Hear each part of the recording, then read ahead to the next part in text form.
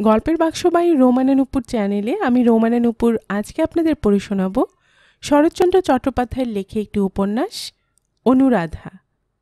আজ শোনাব উপন্যাসটির প্রথম পর্ব।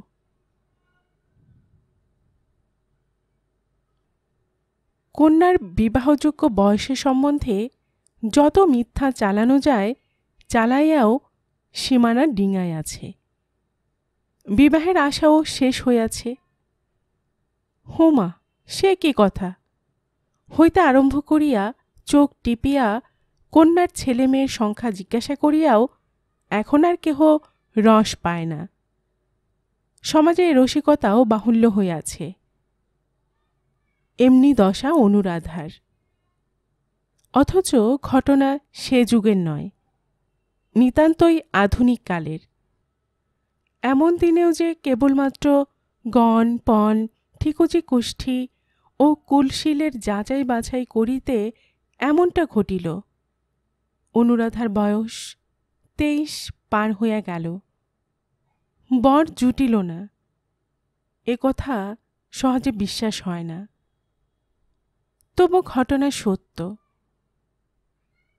সকালে এই গল্পই চলিতেছিল আজ জমিদারের কাছারিতে।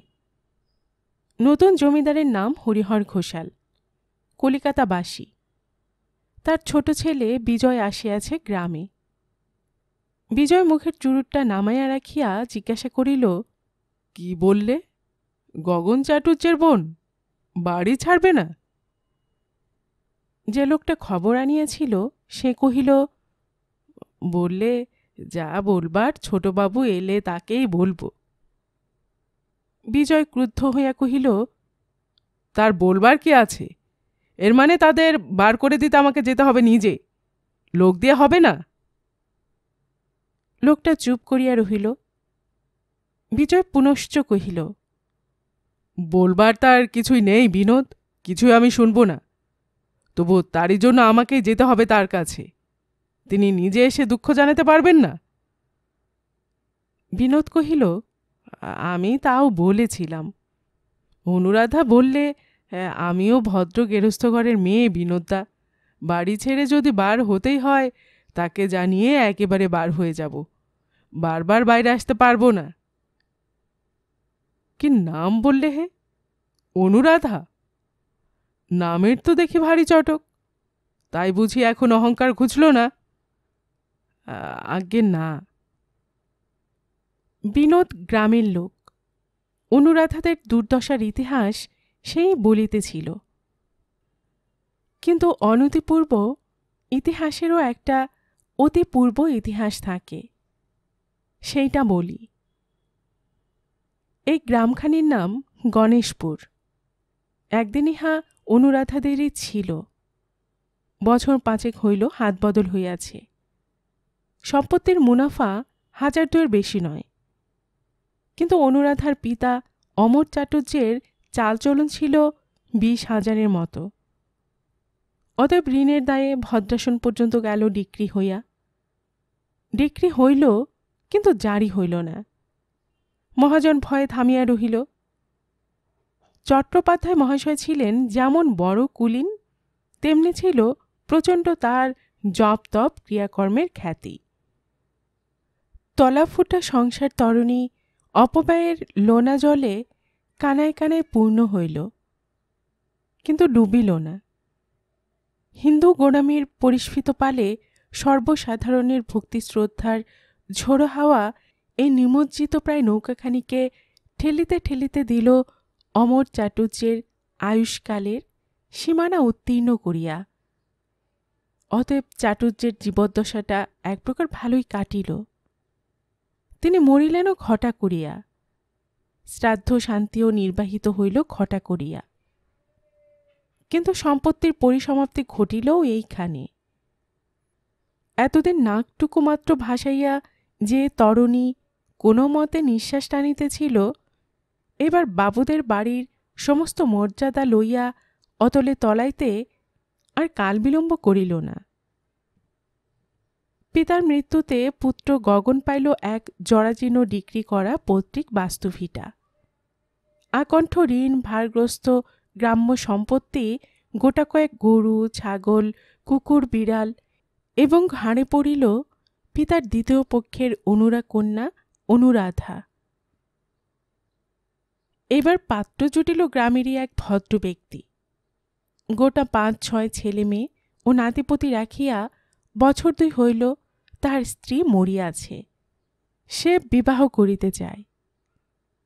অনুরাধা বলিল, দাদা, কপালে রাজপুত্র তো জুটল না, তুমি এইখানে আমার বিয়ে দাও। লোকটা টাকা করি আছে, তবু দুটো খেতে পড়তে পাব। গগন আশ্চর্য হইয়া কহিল, এ সে কি কথা? ত্রিলোচন গাঙ্গুলির পয়সা আছে মানি, কিন্তু ওর ঠাকুরদাদা কুল ভেঙে সতীপুরের চক্রবর্তীদের ঘরে বিয়ে করেছিল জানিস? ওদের আছে কি? বোন বলিল, আর কিছু না থাক, টাকা আছে। কুল নিয়ে উপোস করা চেয়ে দুমুঠো ডাল ভাত পাওয়া ভালো, দাদা? গগন মাথা নাড়িয়া বলিল সে হয় না, হবার নয়। কেন নয় বলো তো? বাবা ওসব মানতেন, কিন্তু তোমার তো কোনো বালাই নেই। এখানে বলা আবশ্যক, পিতার গোড়ামি পুত্রের ছিল না। মদ্য, মাংস ও আরও একটি আনুষঙ্গিক ব্যাপারে সে সম্পূর্ণ মোহমুক্ত পুরুষ। পত্নী বিয়োগের পরে ভিন্ন পল্লীর কে একটি নিজ জাতীয় স্ত্রীলোক আজও তাহার অভাব মোচন করিতেছে একথা সকলেই জানে। গগন ইঙ্গিতটা বুঝিল। গর্জিয়া বলিল, আমার বাজে গোড়ামি নেই, কিন্তু কন্যাগত কুলের শাস্ত্রাচার কি তোর জন্য জলাঞ্জলি দিয়ে চোদ্দ পুরুষ নরকে ডোবাবো? কৃষ্ণের সন্তান স্বভাব কুলীন আমরা। যা যা, এমন নোংরা কথা আর কখনো মুখে আনিস নি এই বলিয়া সে রাগ করিয়া চলিয়া গেল। ত্রিলোচন গাঙ্গুলির প্রস্তাবটা এইখানে চাপা পড়িল। গগন হরিহর ঘোষালকে ধরিয়া পড়িল। কুলীন ব্রাহ্মণকে ঋণমুক্ত করিতে হইবে। কলিকাতা কাঠের ব্যবসায়ে হরিহর লক্ষপতি ধনী। একদিন তাহার মাতুলালয় ছিল এই গ্রামে। বাল্যে বাবুদের বহু সুদিন তিনি চোখে দেখিয়াছেন। বহু কাজে কর্মে পেট ভরিয়া লুচি মন্ডা আহার করিয়া গিয়াছেন। টাকাটা তাহার পক্ষে বেশি নয়। তিনি সম্মত হইলেন। চাটুজ্যেদের সমস্ত ঋণ পরিশোধ করিয়া হরিহর গণেশপুর ক্রয় করিলেন। কুণ্ডদের ডিক্রির টাকা দিয়া ভদ্রাসন ফিরাইয়া লইলেন। কেবল মৌখিক শর্ত এই রহিল যে, বাহিরে গোটা দুই তিন ঘর কাছারির জন্য ছাড়িয়া দিয়া গগন অন্দরের দিকটায় যেমন বাস করিতেছে, তেমনই করিবে। তালুক খরিদ হইল, কিন্তু প্রজারা মানিতে চাহিল না। সম্পত্তি ক্ষুদ্র, আদায় সামান্য। সুতরাং বড় রকমের কোনো ব্যবস্থা করা চলে না। কিন্তু অল্পের মধ্যেই কি কৌশল যে গগন খেলিতে লাগিল হরিহরের পক্ষের কোনো কর্মচারী গিয়াই গণেশপুরে টিকিতে পারিল না। অবশেষে গগনের নিজেরই প্রস্তাবে সে নিজেই নিযুক্ত হইল কর্মচারী। অর্থাৎ ভূতপূর্ব ভূস্বামী সাজিলেন বর্তমান জমিদারদের গোমস্তা। মহাল শাসনে আসিল। হরিহর হাঁপ ছাড়িয়া বাঁচিলেন। কিন্তু আদায়ের দিক দিয়া রহিল যথা পূর্বস্তথা পর এক পয়সা তহবিলে জমা পড়িল না। এমনিভাবে গোলে মালে আরও বছর দুই কাটিল। তারপরে হঠাৎ একদিন খবর আসিল, গোমস্তবাবু গগন চাটুর্যকে খুঁজিয়া পাওয়া যাইতেছে না। সদর হইতে হরিহরের লোক আসিয়া খোঁজ খবর, তত্ত্ব তল্লাশ করিয়া জানিল, আদায় যাহা হইবার হইয়াছে সমস্ত গগন আত্মসাৎ করিয়া সম্প্রতি গা ঢাকা দিয়াছে। পুলিশে ডায়েরি আদালতে নালিশ, বাড়ি খানা তল্লাশি, প্রয়োজনে যাহা কিছু সবই হইল। কিন্তু না টাকা, না গগন, কাহারও সন্ধান মিলিল না।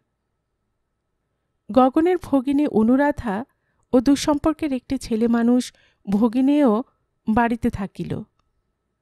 পুলিশের লোকে তাহাকে বিধি মতো কষা, মাজা ও নাড়াচাড়া দিল। কিন্তু কোনো তথ্যই বাহির হইল না। বিজয় বিলাত ফিরত।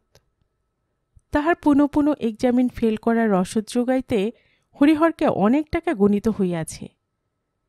পাশ করিতে সে পারে নাই, কিন্তু বিজ্ঞতার ফলস্বরূপ মেজাজ গরম করিয়া বছর দুই পূর্বে দেশে ফিরিয়াছে। বিজয় বলে, বিলাতে পাশ ফেলের কোনো প্রভেদ নেই।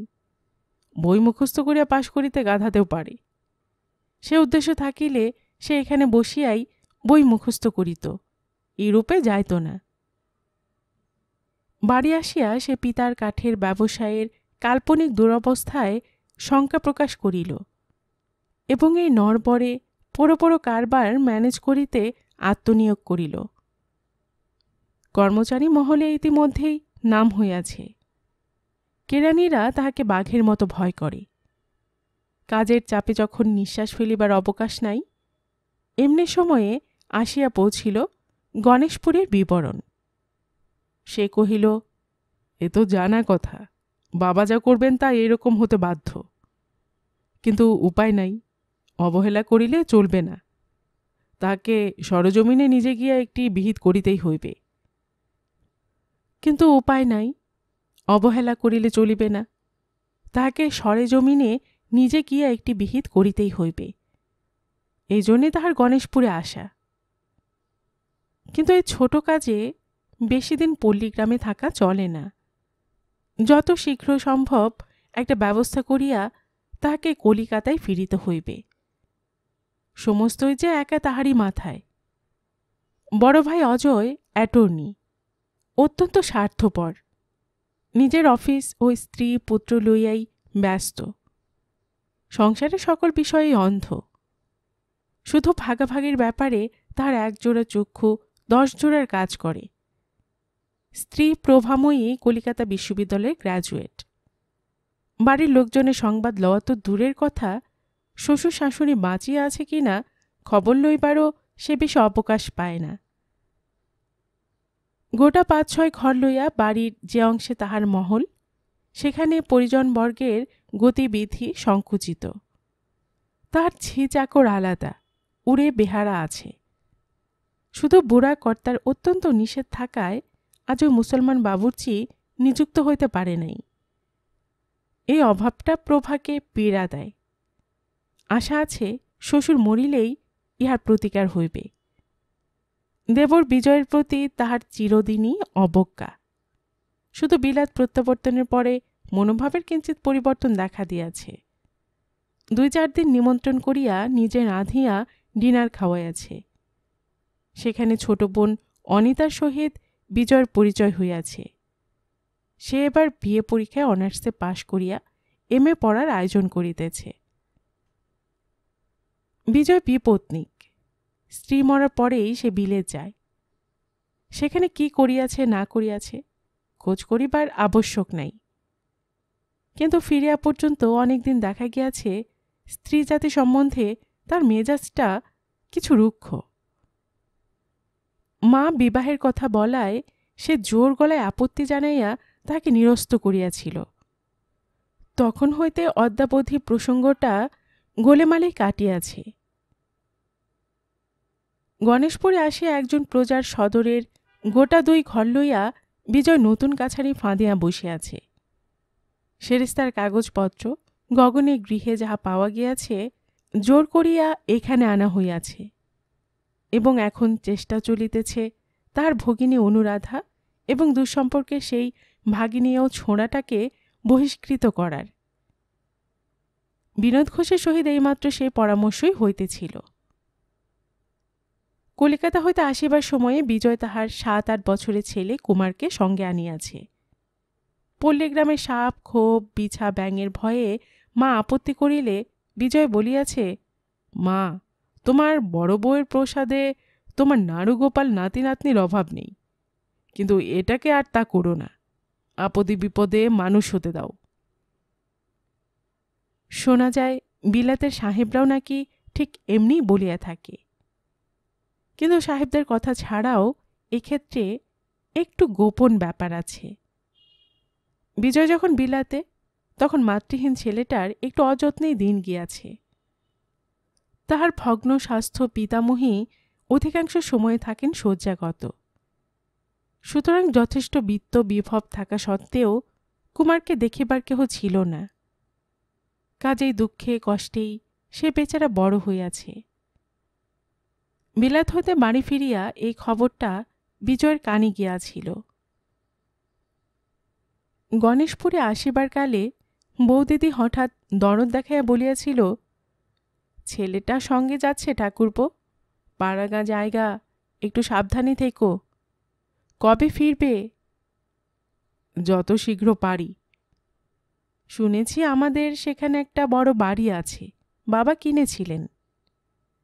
কিনেছিলেন, কিন্তু কেনা মানে থাকা নয় বৌদি। বাড়ি আছে, কিন্তু দখল নেই। কিন্তু তুমি যখন নিজে যাচ্ছ ঠাকুরপো, তখন দখলে আসতেও দেরি হবে না। আশা তো তাই করি। দখলে এলে কিন্তু একটা খবর দিও। কেন বৌদি? ইহার উত্তরে প্রভা বলিয়াছিল, এই তো কাছে পাড়াগা কখনো চোখে দেখিনি। গিয়ে একদিন দেখে আসব। অনুরও কলেজ বন্ধ, সেও হয়তো সঙ্গে যেতে চাইবে। এ প্রস্তাবে বিজয় অত্যন্ত পুলিকিত হইয়া বলিয়াছিল, আমি দখল নিয়েই তোমাকে খবর পাঠাবো বৌদি। তখন কিন্তু না বলতে পারবে না। বোনটিকে সঙ্গে নেওয়া চাই। অনিতা যুবতী। সে দেখিতে সুশ্রী ও অনার্সে বিয়ে পাশ করিয়াছে। সাধারণ স্ত্রী জাতির বিরুদ্ধে বিজয়ের বাহ্যিক অবজ্ঞা থাকা সত্ত্বেও রমণী বিশেষের একাধারে এতগুলো গুণ সে মনে মনে যে তুচ্ছ করে তাহা নয়। সেখানে শান্ত পল্লীর নির্জন প্রান্তরে কখনো কখনো বা প্রাচীন বৃক্ষ ছায়াচ্ছন্ন সংকীর্ণ গ্রাম্য পথের একান্তে সহসা মুখোমুখি আসিয়া পড়ার সম্ভাবনা তাহার মনের মধ্যে সেদিন বারবার করিয়া দোল দিয়া গিয়াছিল। বিজয়ের পরনে খাঁটি সাহেবী পোশাক, মাথায় সোলার টুপি, মুখে কড়া চুরুট, পকেটে রিভলভার। চেরি ছড়িয়ে ঘুরাইতে ঘুরাইতে বাবুদের বাড়ির সদর বাটিতে আসিয়া প্রবেশ করিল। সঙ্গে মস্ত লাঠি হাতে দুজন হিন্দুস্থানি দারোয়ান। অনেকগুলি অনুগত প্রজা, বিনোদ ঘোষ ও পুত্র কুমার। সম্পত্তি দখল করার ব্যাপারে যদিও হাঙ্গামার ভয় আছে, তথাপি ছেলেকে নাড়ুগোপাল করার পরিবর্তে মজবুত করিয়া গড়িয়ে তোলার এই হল বড় শিক্ষা। তাই ছেলেও আসিয়াছে সঙ্গে। বিনোদ কিন্তু বরাবর ভরসা দিয়াছে যে অনুরাধা একাকী স্ত্রীলোক, কোনো মতেই জোরে পারিবে না। তবু রিভলভার যখন আছে, তখন সঙ্গে লওয়াই ভালো। বিজয় বলিল, মেয়েটা শুনেছি ভারী বজ্জাত, লোক জড়ো করে তুলতে পারে। ওই তো গগন চাটুর্যের পরামর্শদাতা, স্বভাব চরিত্র মন্দ। বিনোদ বলিল আগে তা তো শুনিনি। আমি শুনেছি। কোথাও কেউ নাই। শূন্য প্রাঙ্গণে দাঁড়াইয়া বিজয় চারিদিকে চাহিয়া দেখিল। বাবুদার বাড়ি বলা যায় বটে। সম্মুখে পূজার দালান এখনও ভাঙে নাই। কিন্তু জীর্ণতার শেষ সীমায় পৌঁছিয়াছে এক পাশে সারি সারি বসিবার ঘর ও বৈঠকখানা। দশা একই।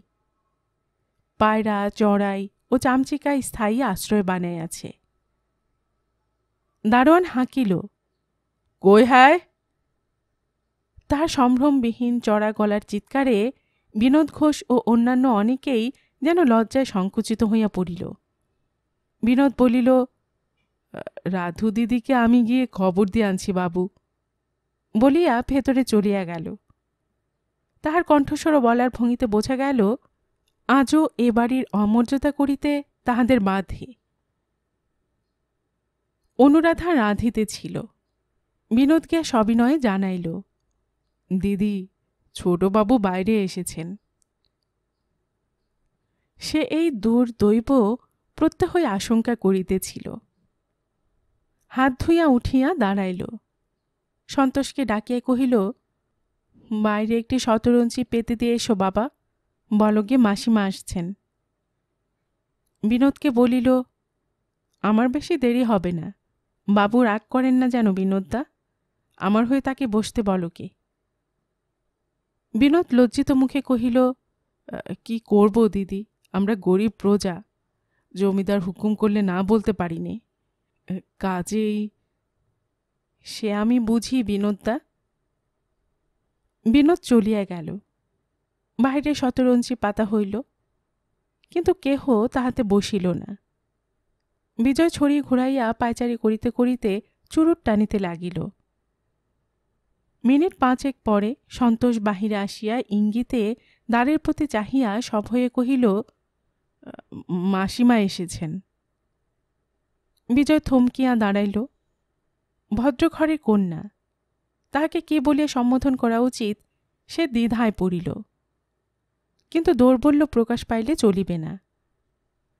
অতএব পুরুষকণ্ঠে অন্তরাল বর্তিনীর উদ্দেশ্যে কহিল, এ বাড়ি আমাদের, তুমি জানো?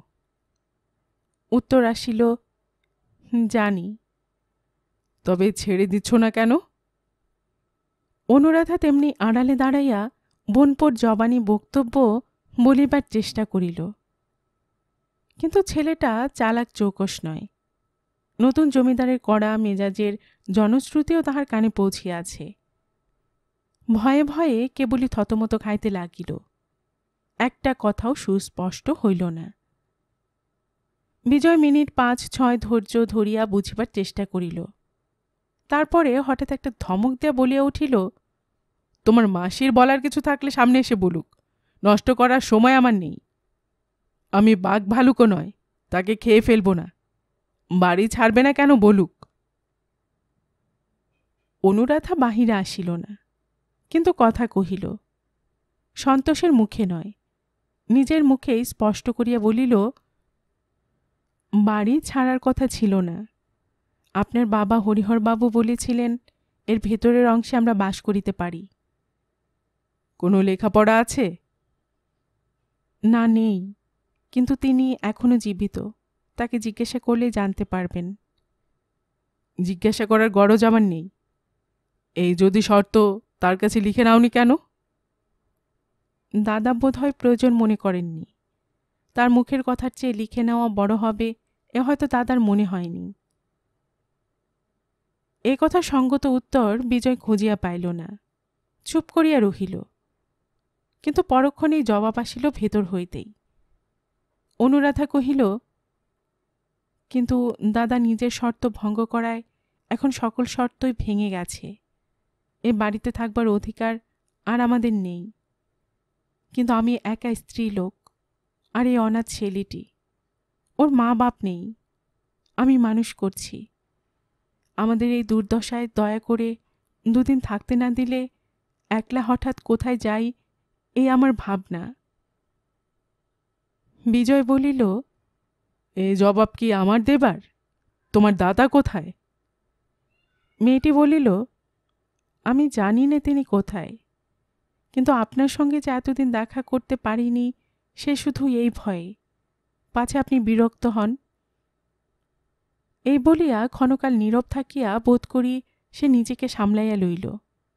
কহিল, আপনি মনিব, আপনার কাছে কিছু লুকোব না। অকপটে আমাদের বিপদের কথা জানালুম। নইলে একটা দিনও জোর করে এ বাড়িতে বাস করার দাবি আমি করিনি।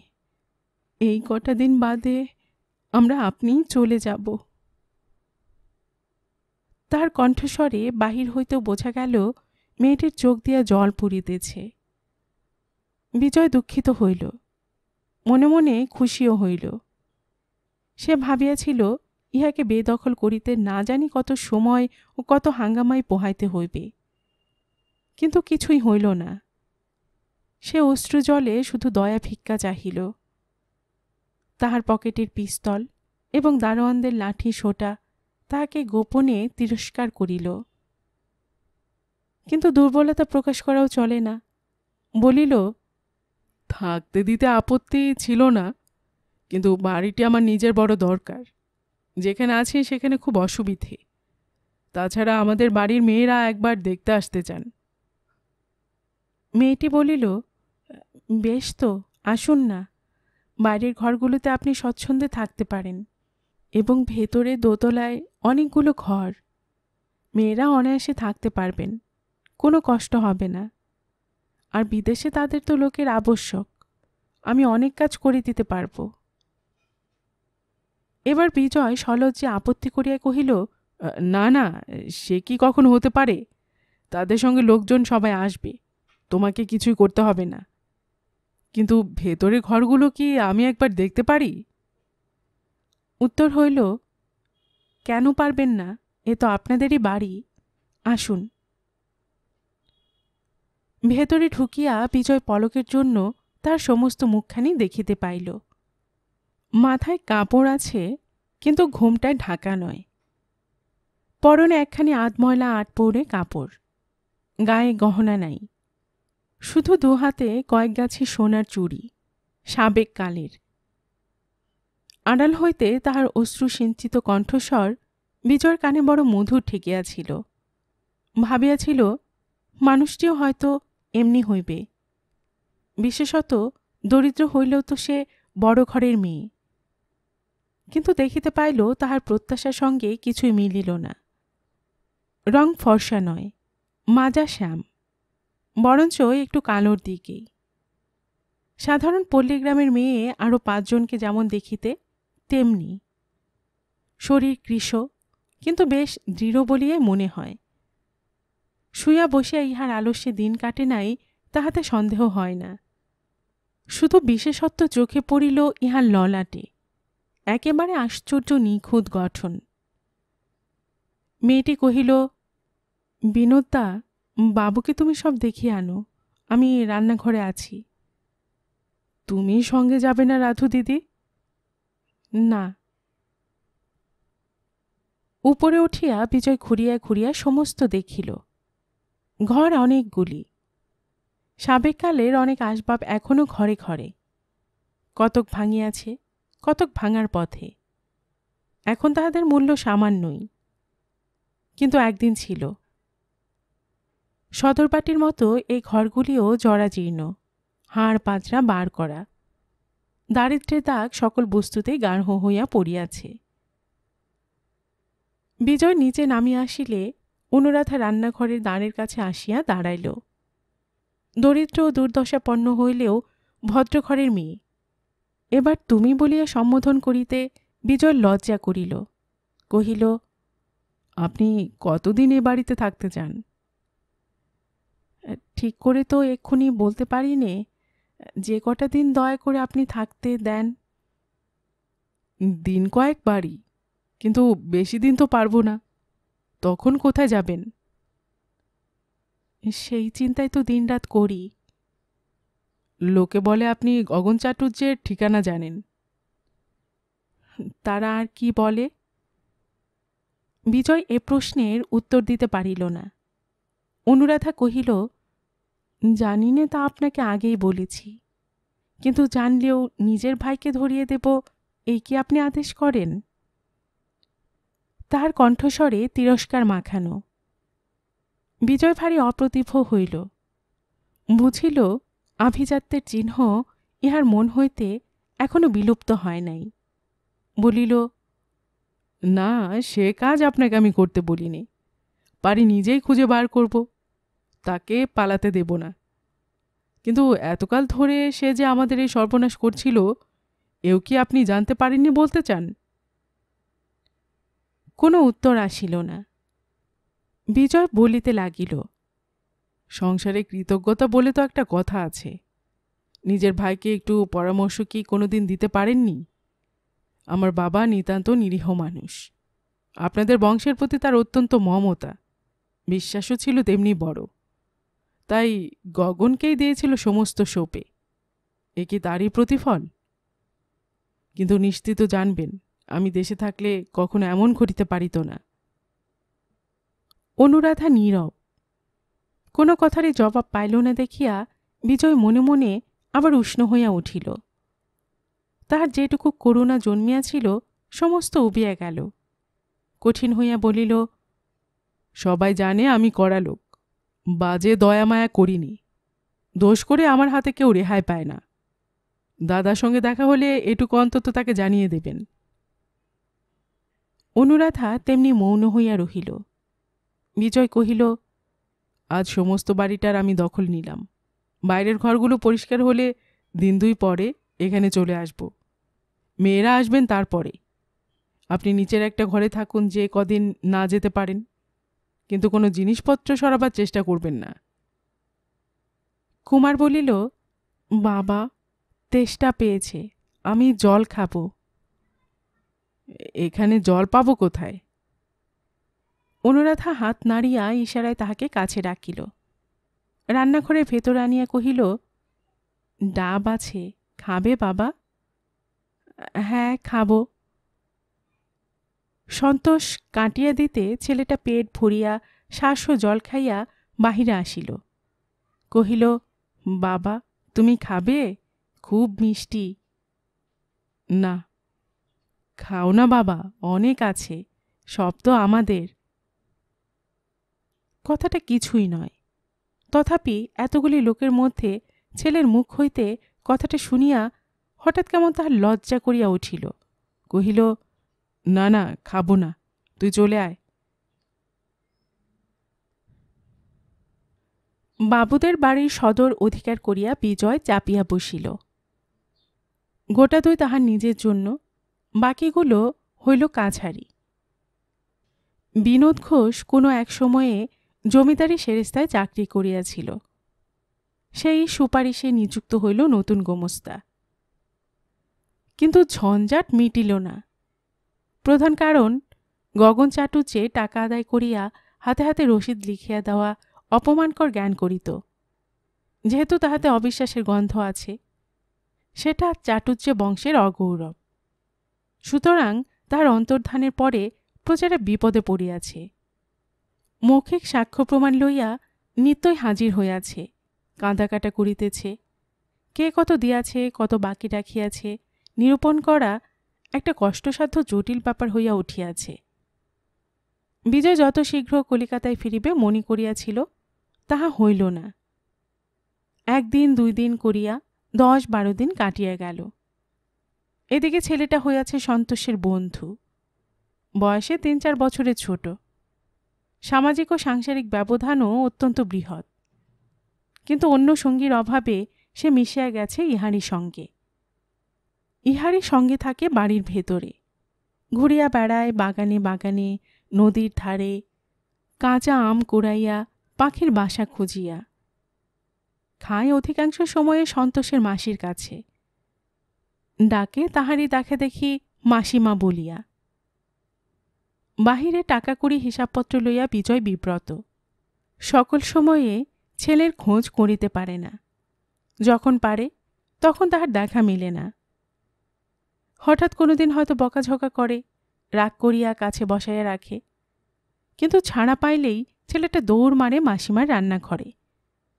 সন্তোষের পাশে বসিয়া খায় দুপুরবেলার ভাত।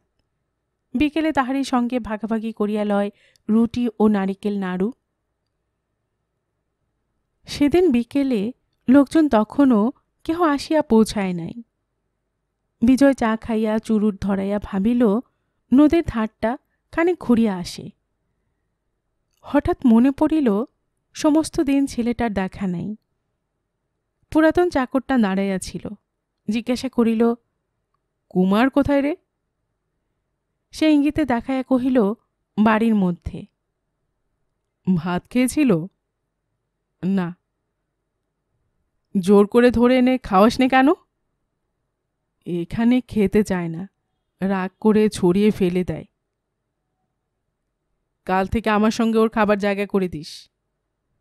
এই বলিয়া কি ভাবিয়া আর সে বেড়াইতে গেল না। সোজা ভেতরে গিয়া প্রবেশ করিল। সুদীর্ঘ প্রাঙ্গণের অপর প্রান্ত হইতে পুত্রের কণ্ঠস্বর কানে গেল। মাসিমা, আরেকখানা রুটি আর দুটো নারকেল নাড়ু শিগগির। যাহাকে আদেশ করা হইল, সে কহিল, নেবে, আয় না বাবা, তোদের মতো আমি কি গাছে উঠতে পারি? জবাব হইল, পারবে মাসিমা, কিছু শক্ত নয়। এই মোটা ডালটায় পা দিয়ে ওই ছোট ডালটা ধরে এক টান দিলেই উঠে পড়বে। বিজয় কাছে আসিয়া দাঁড়াইল। রান্নাঘরের সম্মুখে একটা বড় আম গাছ। তাহার দুদিকের দুই মোটা ডালে বসিয়া কুমার ও বন্ধু সন্তোষ। পা ঝুলাইয়া গুড়িতে ঠেস দিয়া উভয়ের ভোজনকার্য চলিতেছে। তাহাকে দেখিয়া দুজনেই ত্রস্ত হইয়া উঠিল। অনুরাধা রান্নাঘরে দাঁড়ের অন্তরালে সরিয়া দাঁড়াইল। বিজয় জিজ্ঞাসা করিল, ওই কি ওদের খাবার জায়গা নাকি? কেহ উত্তর দিল না। বিজয় অন্তরাল বর্তিনীকে উদ্দেশ্য করিয়া বলিল আপনার উপর দেখছি ও খুব অত্যাচার করছে। এবার অনুরাধা মৃদুকণ্ঠে জবাব দিল, বলিল হ্যাঁ। তবু তো প্রশ্রয় কম দিচ্ছেন না। কেন দিচ্ছেন? না দিলে আরও বেশি উপদ্রব করবে সেই ভয়ে। কিন্তু বাড়িতে তো এরকম উৎপাত করে না শুনেছি। হয়তো করে না। ওর মা নেই। ঠাকুরমা প্রায় শয্যাগত। বাপ থাকেন বাইরে কাজকর্ম নিয়ে। উৎপাত করবে কার উপর? বিজয় ইহা জানে না, তাহা নয়। তথাপি ছেলেটার যে মা নাই, এই কথাটা পরের মুখে শুনিয়া তাহার ক্লেশ বোধ হইল। কহিল, আপনি দেখছি অনেক বিষয় জানেন। কে বলল আপনাকে? কুমার? অনুরাধা ধীরে ধীরে কহিল, বলবার বয়স ওর হয়নি। তবু ওর মুখ থেকে শুনতে পাই। দুপুরবেলা রোদ্দুরে ওদের আমি বেরোতে দেইনি। তবু ফাঁকি দিয়ে পালায়। যেদিন পারে না আমার কাছে শুয়ে বাড়ির গল্প করে। বিজয় তাহার মুখ দেখিতে পাইল না। কিন্তু সেই প্রথম দিনটির মতো আজও সেই কণ্ঠস্বর বড় মধুর লাগিল। তাই বলার জন্য নয়, কেবল শোনার জন্য কহিল, এবার বাড়ি ফিরে গিয়ে ওর মুশকিল হবে। কেন? তার কারণ উপদ্রব জিনিসটা নেশার মতো। না পেলে কষ্ট হয়। শরীর আয়টাই করে। কিন্তু সেখানে ওর নেশার খোরাক জোগাবে কে? দুদিনে তো পালায় পালায় করবে। অনুরাধা আস্তে আস্তে বলিল, না, ভুলে যাবে। কুমার, নেমে এসো বাবা, রুটি নিয়ে যাও। কুমার বাটি হাতে করিয়া নামিয়া আসিল এবং মাসির হাত হইতে আরও কয়েকটা রুটি ও নারিকেল নাড়ু লইয়া তাহারই গা ঘেঁষিয়া দাঁড়াইয়া আহার করিতে লাগিল। গাছে উঠিল না। বিজয় চাহিয়া দেখিল, সেগুলি তাহাদের ধনীগৃহের তুলনায় পদগৌরবে যেমনই হীন হোক, সত্যকার মর্যাদায় কিছুমাত্র খাটো নয়। কেন যে ছেলেটা মাসির রান্নাঘরের প্রতি এত আসক্ত, বিজয় তাহার কারণ বুঝিল। সে ভাবিয়া আসিয়াছিল কুমারের লুব্ধতায় তাহার অহেতুক ও অতিরিক্ত ব্যয়ের কথা তুলিয়া প্রচলিত শিষ্ট বাক্যে পুত্রের জন্য সংকোচ প্রকাশ করিবে এবং করিতেও যাইতেছিল। কিন্তু বাধা পড়িল। কুমার বলিল, মাসিমা, কালকের মতো চন্দ্রপুলি করতে আজও যে তোমাকে বলেছিলুম, করনি কেন? মাসিমা কহিল, অন্যায় হয়ে গেছে বাবা, সাবধান হইনি। সমস্ত দুধ বেড়ালে উল্টে ফেলে দিয়েছে। কাল আর এমন হবে না। কোন বেড়ালটা বলো তো? সাদাটা? সেইটাই বোধ হয় বলিয়া অনুরাধা হাত দিয়া তাহার মাথার এলোমেলো চুলগুলি সোজা করিয়া দিতে লাগিল। বিজয় কহিল, উৎপাত তো দেখছি ক্রমশ জুলুমে গিয়ে ঠেকছে। কুমার বলিল, খাবার জল কই? ওই যা, ভুলে গেছি বাবা, এনে দিচ্ছি। তুমি সবই ভুলে যাও মাসিমা, তোমার কিচ্ছু মনে থাকে না। বিজয় বলিল, আপনার বকুনি খাওয়াই উচিত, ত্রুটি পদে পদে। হ্যাঁ বলিয়া অনুরাধা হাসিয়া ফেলিল। অসতর্ক বশত এ হাসি বিজয়ের চোখে পড়িল। পুত্রের অবৈধ আচরণের ক্ষমা ভিক্ষা করা আর হইল না। পাছে তাহার ভদ্রবাক্য অভদ্র ব্যঙ্গের মতো শোনায়। পাছে এই মেয়েটির মনে হয় তাহার দৈন্য ও দুর্দশাকে সে কটাক্ষ করিতেছে।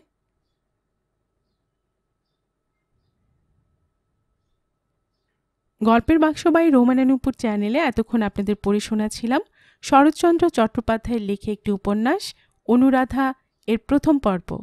এর পরে আসছে দ্বিতীয়, অর্থাৎ শেষ পর্ব।